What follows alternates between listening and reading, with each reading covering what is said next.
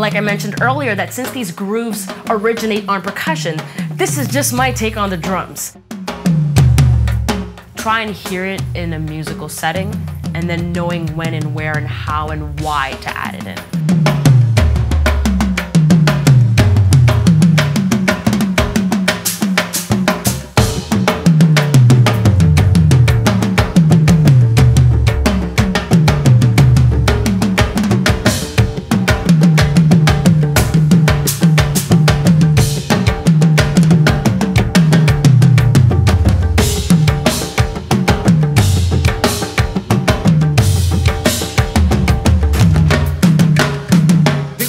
că din adânc, din daci, că din adânc, din daci, că din adânc, din daci, că din adânc, din daci, că din adânc, din daci, că din adânc, din daci, că din adânc, din daci, că din adânc, din daci, că din adânc, din daci, că din adânc, din daci, că din adânc, din daci, că din adânc, din daci, că din adânc, din daci, că din adânc, din daci, că din adânc, din daci, că din adânc, din daci, că din adânc,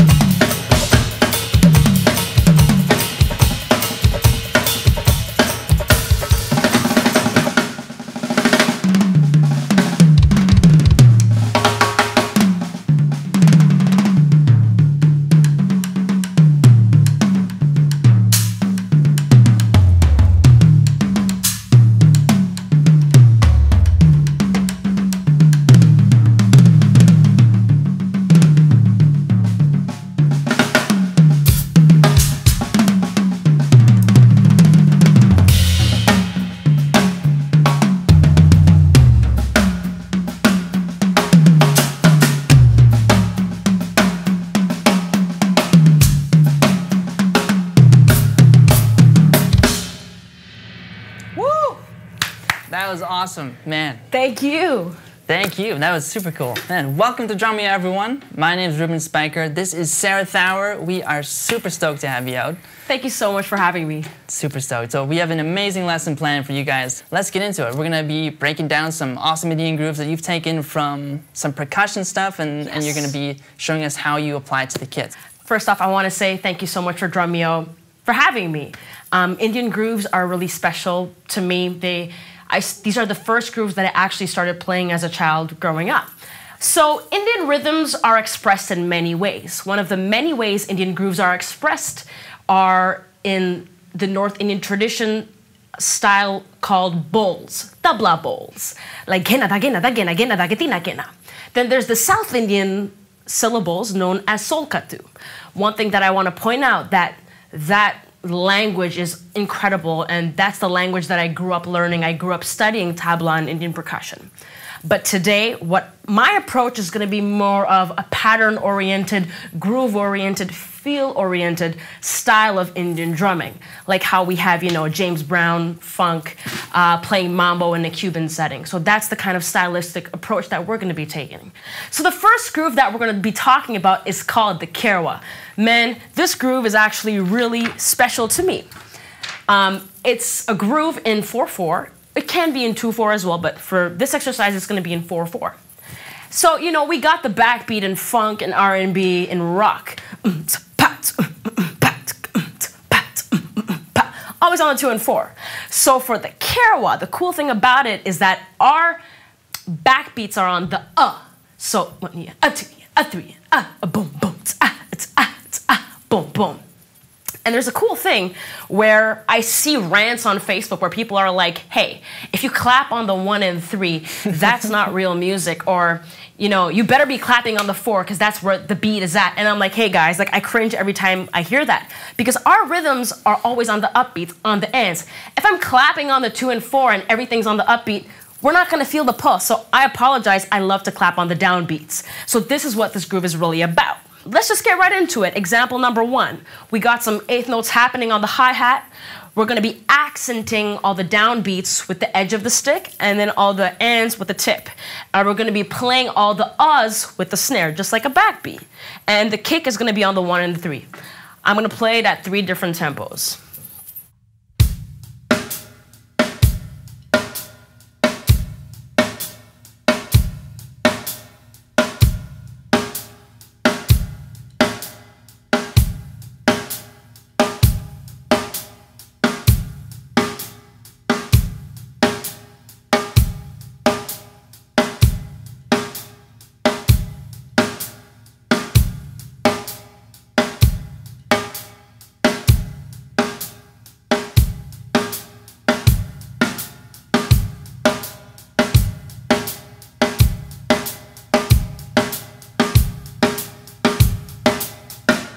So that's usually performed at the last tempo, generally?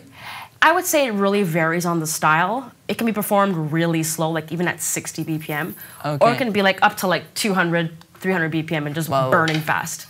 Yeah. That's crazy, man. Yeah. So what percussion instrument is that one taken from? We have the, the tabla, North Indian instrument. We have the dholak. We have the dhol. I would say like this is the most popular Indian groove. Okay. Yeah. Cool. So I this think is it's- like the one to learn. If you want to impress some people from the Indian culture, just pop up and play this beat. So that'll give you some incentive to learn these grooves. Cool, cool. Yeah. So the second groove that we're going to go to, um, it's going to be the same groove, but we're going to add some ghost notes to it. We're going to add a ghost note on the E. So you know, let's check out some James Brown, or let's uh, refer to some James Brown grooves. That style is made up of so many ghost notes. Even if you hear a lot of other genre, ghost notes really make up the feel. And I would say it's a very similar situation to this as well. You need to involve some of that feeling into it with the ghost notes. Um, when you take J Dilla swing, you have Cuban swing, you have New Orleans, you have jazz, you have a bunch of these styles, and all of these styles have a distinct swing to them. And I would say the same thing to this. There, we have it really straight, we got it kind of in the middle, and then we got it heavily swung. I personally like to play it in between the two. Maybe I can demonstrate a little bit of the feel with this exercise B and add some ghost notes to demonstrate. Sounds good. And I'll play it at three tempos.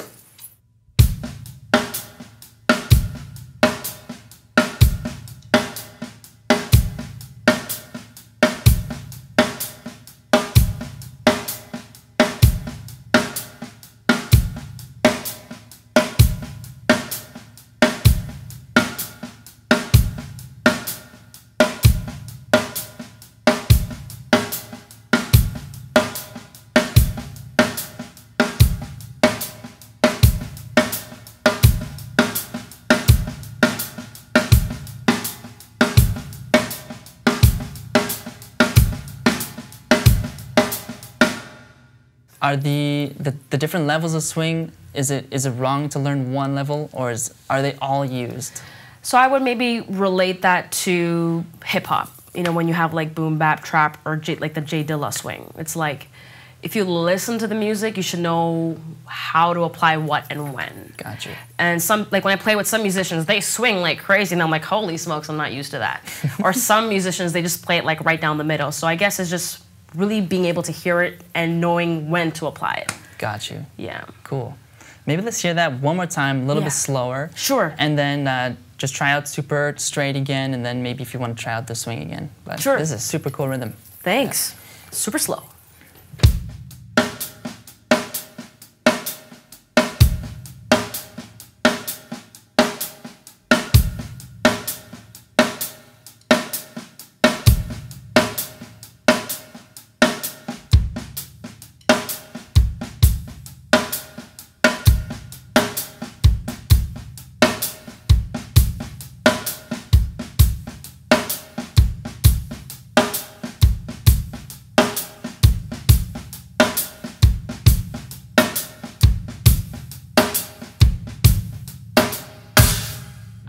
Like the swing feel on that one. That feels really nice. It feels Yeah. nice. Cool.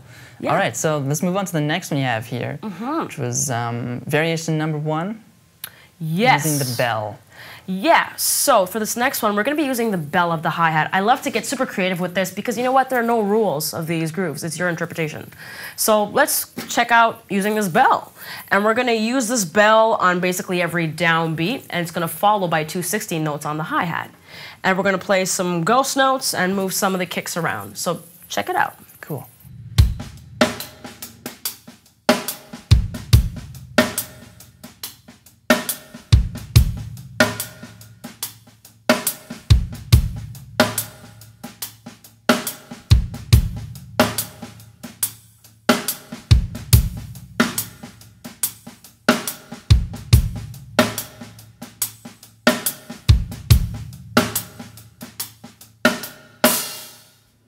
Is there a certain setting where you would use the bell more, just like to cut through a little more, or is it just you're feeling that out? If it's like a little bit quieter, you won't use the bell, and then So I would say, depending on the song, depending on the part, like maybe at a B section or like an A1 or A2 section, I guess it's just trying to figure out where in the song that fits or listening to the other percussionists. Some of them pop up some kanji, some bells, where they're accenting all the downbeats. So why not follow them and you know mm. try it out? Yeah. so it's again kind of trying to uh, mimic someone playing bells in the background, kind of add in some more textures. Definitely. Cool. Yeah, I kind of imagine this as the bells.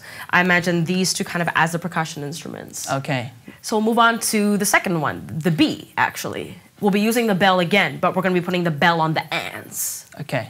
All right.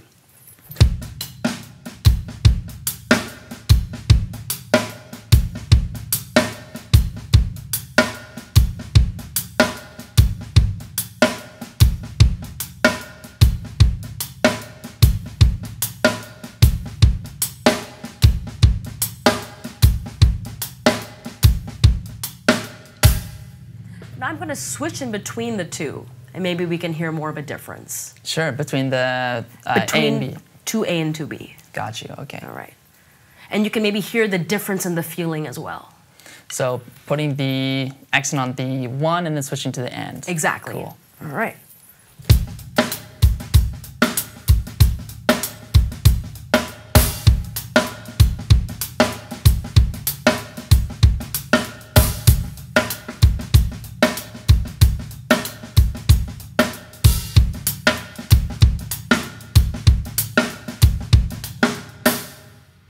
So number three, we're going to actually involve some cross stick to it.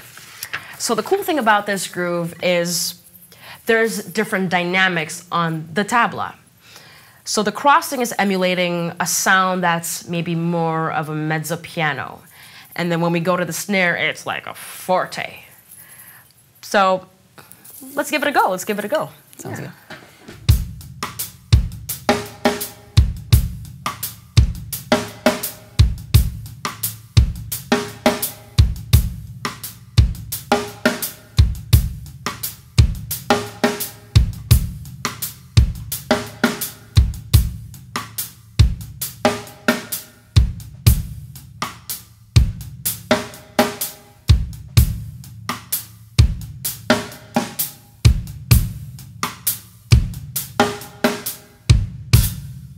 That's probably one. I think I like the textural change between the cross stick and snare on that one. I think that's my favorite one so far. Yay, yeah, it feels cool really one. great. Next up, you had um, experimenting with sound sources Yes. and So going back again to how we're imitating percussion instruments. So there's this cool barrel-shaped drum called the dholak, bass side and the high side. And I would say it has very similar technique to the tabla as well. So if you can play tabla, in my opinion, you can play dholak as well, and you can kind of switch in between the two. So what the cool thing is about this groove is that a lot of dholak players wear a pinky ring, and what mm-hmm. they do is they hit the wood of the barrel with the pinky ring, and they usually do that on the downbeats. And how we keep talking about the uhs, or I keep talking about the uhs, is that they're hitting on the downbeat on the wood, and then they're hitting the upbeats with their index finger on the drum. Mm. So what I like to do when I'm playing in a gig or something like that, and I have to emulate that sound, I'm like, all right, we got the rims of the toms, and that can emulate the ring on the pinky hitting the wood. And then the hide can be on the ends, and we got the uhs happening on the snare with various kick patterns.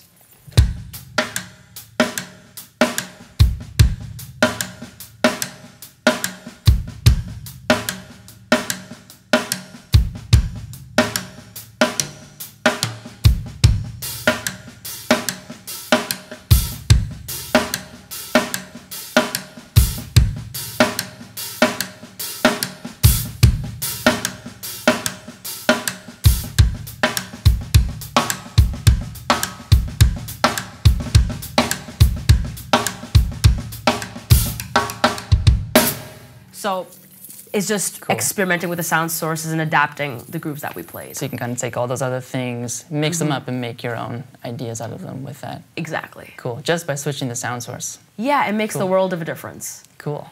So we've been on the hi hat for a bit too long. Let's move on to the right cymbal. So what I like to do when we move to the right cymbal, the hi hat's not doing anything. So I'm just like, let's incorporate some feet. Um, there are a lot of options on quarters, on eighths, on the ends, on two and four, on the ones and the threes. Feel free to try them out. Feel free to see what works for you.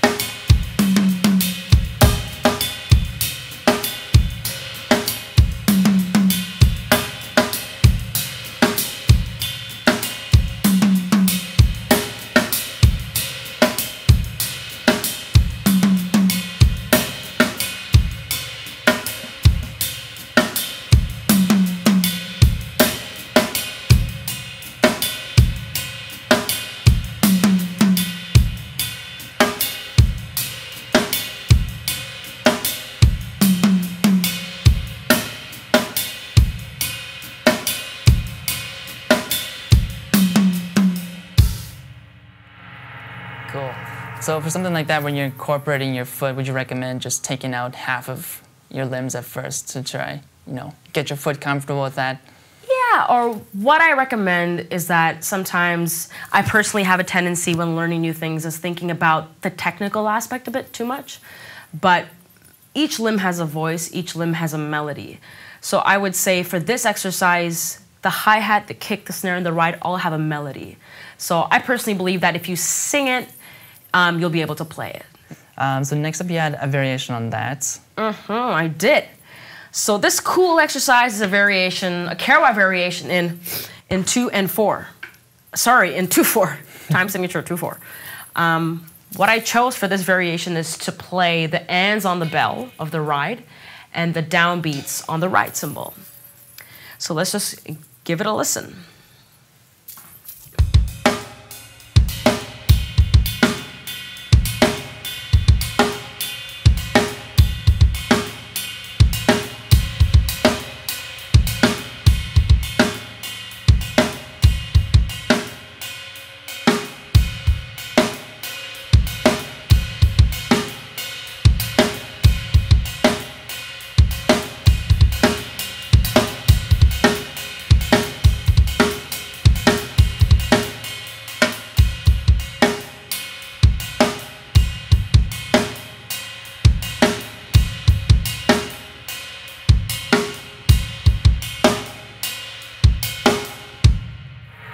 Can you hear some like really cool, you know, ideas for playing some fusion music or some gospel stuff even with that one? That's really cool. Totally. You totally can. That's awesome. So that's like a very versatile one to use. Yeah. I definitely try to apply these grooves in my everyday playing and whatever I play. Cool. Because they're really, they have a really me- melodic flavor to it. Cool. And we'll talk about how at the end you can apply these to something else. But Yeah. we'll keep moving along and then we'll get to that at the very end. Uh-huh. So um, number seven was adding stack to the Kherwa. And I like how you told me about that earlier. Um, Yes. Basically, this was like your idea to copy the hand clapping. Yeah, so a lot of these beautiful Indian grooves, the culture involves people, dancing, community. So when we play these grooves in public, everyone's kind of clapping. And when I mentioned to you earlier, sometimes I have to do these gigs where there's no other percussionist, so I have to cover all these parts. Um, there's someone playing the country and highlighting the claps of the people. So I made this kind of thing up. I'm just like, okay, let's bring a stack to these gigs and let me see if I imitate the people clapping or experiment thinking of it as a clap on different accents, like on the one and the three, on all the hmm. quarters, on the two and the four. Let me see if it makes a difference and maybe the audience's reaction is going to change. And it really did. As soon as I started kind of hitting the corners, everyone's like, whoa, and they followed along. So it really makes a difference. Cool. Yeah. All right, let's check out how that sounds. You had some like, uh, or just checking that into a beat. Yeah, I'm just hear going to put it in a Kherwa. Sounds good. Yeah. So pick one of the ones we've gone over and try applying that yourself. Definitely. And just imagine people dancing and clapping. Or what I like to do is when learning a new genre, I watch dancers, I watch how people bob their head and move their body. And then you kind of, that's an indication of kind of what to place where and when. So let's just get into it. Sounds good. All right.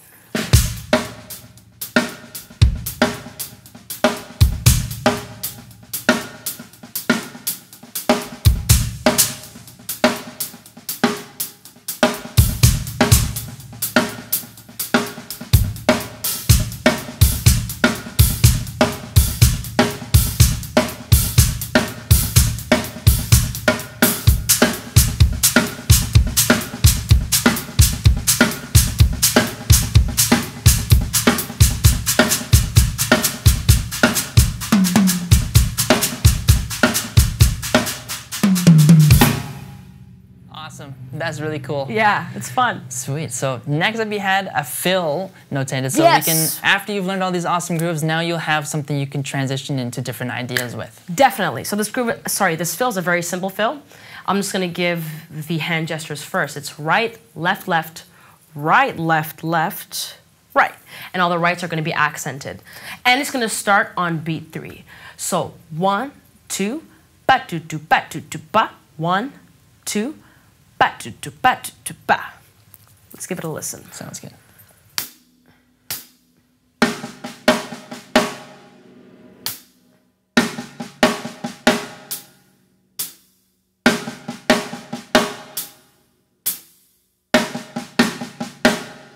What I also recommend is try voicing it on the kit, putting maybe the rights on the toms or even maybe putting your left hand. So let's just try a little voicing. Sounds good.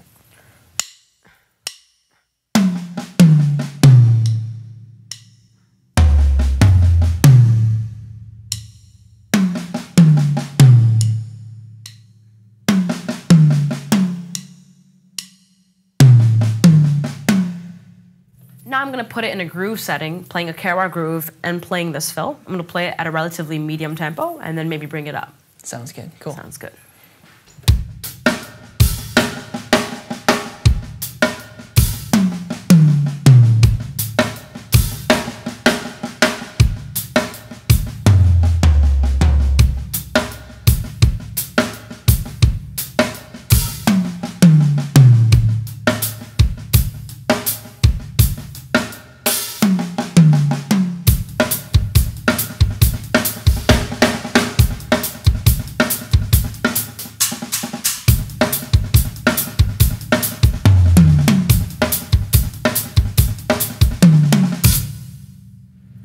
That's like a really effective pattern. So definitely take that, apply it to like every part of your kit you can think of, and get creative with it. That's Especially really because this music really stems from dancing and community. You don't want to throw somebody off with some crazy fill. I feel like this fill, it comes from the percussion instruments, of course, as mentioned, but there's a flow to it as well. Awesome pattern, awesome fill. You can use that in like tons of different places. So. Tons. Yeah. Cool. Let's move on to the six, eight patterns we had going on here. Yes. Um, yeah, some really cool stuff with that. Yes.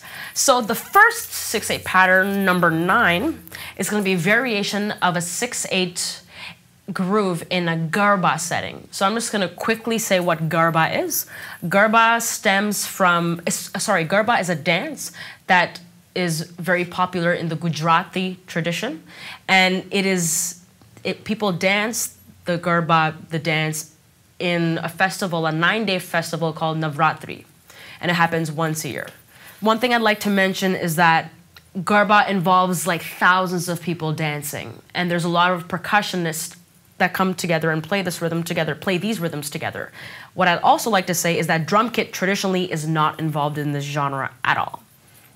So I'm going to be using the toms because the percussion instrument that is really used is called the dhol. And that is like a gigantic barrel drum that you wear around your neck, and there's a low side and there's a high side. So that sound can be emulated again with the tom. So let's Cool. let's give it a listen. Sounds good.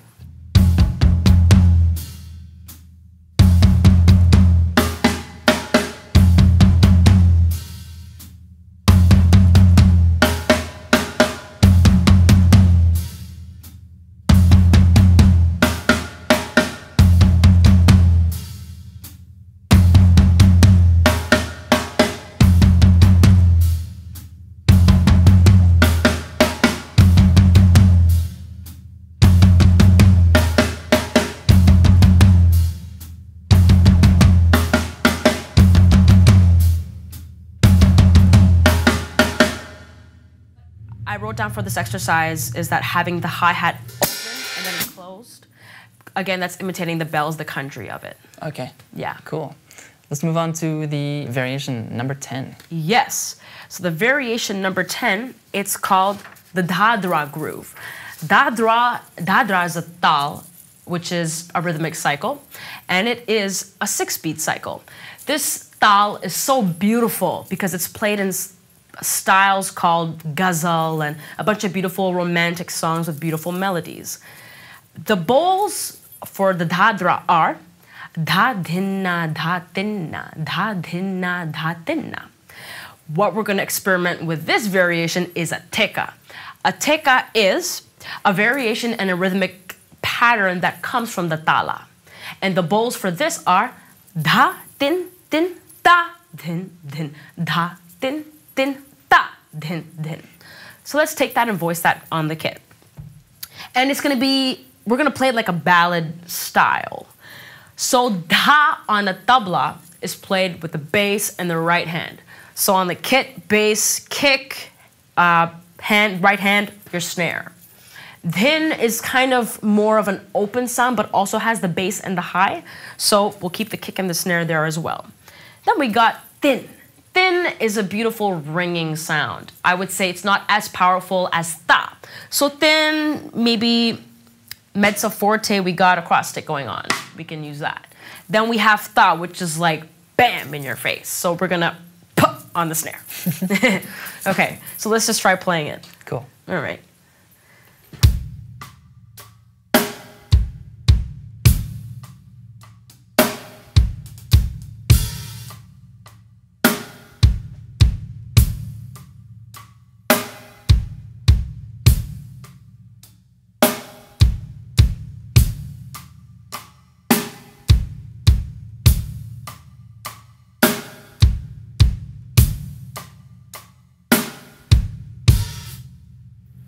Cool. Again, very versatile groove you could use in like Very many versatile. different places. So And you know, when you hear like gospel music, there's a lot of beautiful play on the hi hat. So a lot of tabla players, when they're playing this style and this style, they're kind of fol- following the vocalists and the other instrumentations. Hmm. So they do a lot of beautiful subtleties and ghost notes and melodic lines on the tabla. So I kind of steal all, all their lines and I do it on the hi hat while keeping kind of these two consistent. awesome. So a lot of room to play around. Cool. Oh, that's Yeah. really cool. Yeah. Um, let's move on to number 11. So this is one of my favorite grooves. It's a fun, a vibe, a fun 6-8 kind of groove. And this can be applied into a garba setting, you know, Bollywood songs, anything. So let's check it out.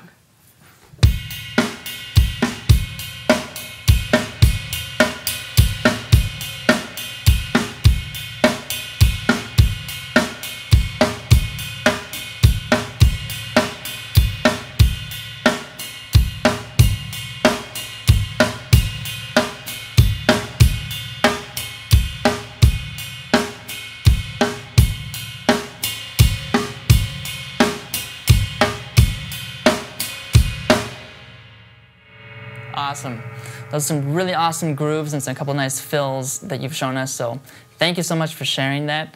Um, so yeah, I think now you mentioned you're going to play a track and you're going to show us basically how um, you can start using this in, Yeah. in like you know a different setting other than any music. How you can start applying it. But um, before we do that, um, do you have anything else you wanted to add? I would just say one thing is that when I'm trying to learn grooves or licks or tops or whatever it may be, sometimes I feel like the habit is to get the sticking and just shed it till you get it and maybe try and squeeze it into, every, into everything that you do. Um, what I've learned and continue to do is try and hear it in a musical setting and then knowing when and where and how and why to add it in. Because when we were going through the different ride variations or hi-hat variations, it wasn't like a technical exercise like from the new breed or something like that. There was a purpose for each and every ghost note and every hit. In my mind, I'm hearing the song. So I would recommend if you'd like to dig into these grooves, check them out, look up Kherwa, look up different variations and understand the grooves. Hmm. Thank you again for coming out. This is an amazing, uh, amazing lesson. And make sure you come check out Drumeo Edge. Check out all the other stuff we're going to be filming. We've got an amazing course with like 15 of these grooves. We'll, we'll go way more in depth with this and everything. So yeah. The next song is by Kaz Rodriguez. Shout out. It's called Gaia.